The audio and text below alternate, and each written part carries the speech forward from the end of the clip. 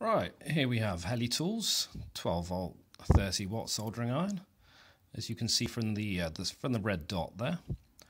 And uh, here's how it looks: standard soldering iron looking, single lead. This is the eBay page, eight pounds fifty-three. Arrived in a couple of days.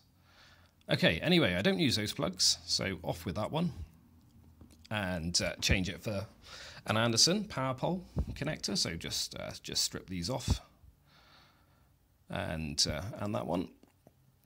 Fold them over, and in they go. It's great when you can work this fast. Saves a lot of time in the day.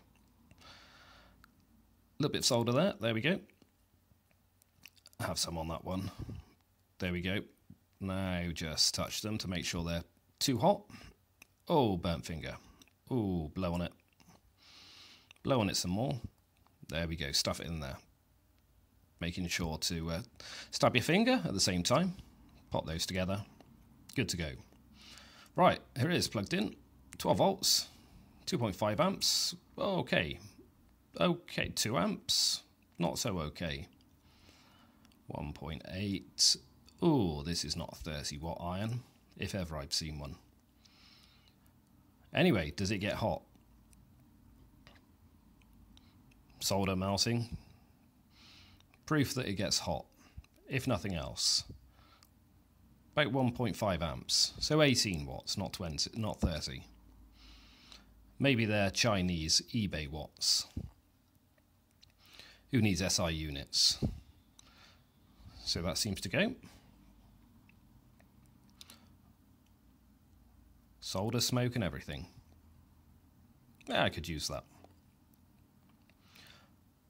Right, now, let's give it a try on some 18650s. Here's three 18650s in a holder. Let's just have a look at the battery voltage.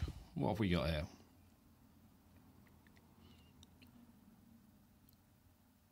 Okay, 12 and a half volts. So they're charged. That's fine.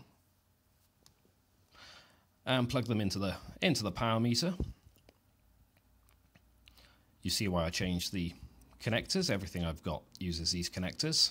There we go, 12, 12 and a half volts. Just repeated myself. Didn't need to use the meter. And now plug this in to the power meter. Get in there. Ah, she's in. And there we go. 18 watts. Battery volts has dropped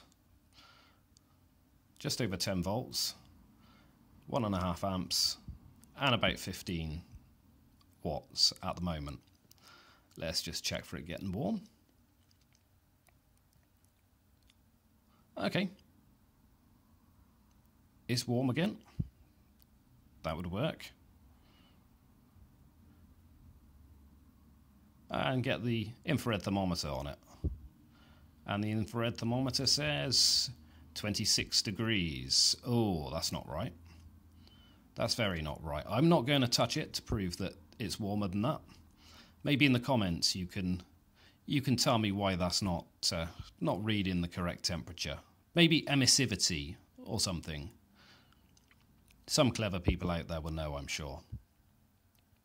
I'm not one of them. So uh, so there we have it.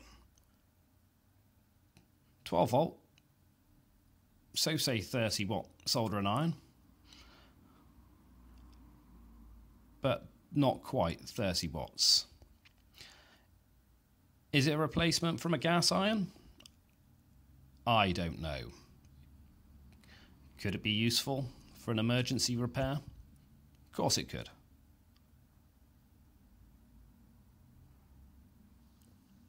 So there we have it. Thanks for watching.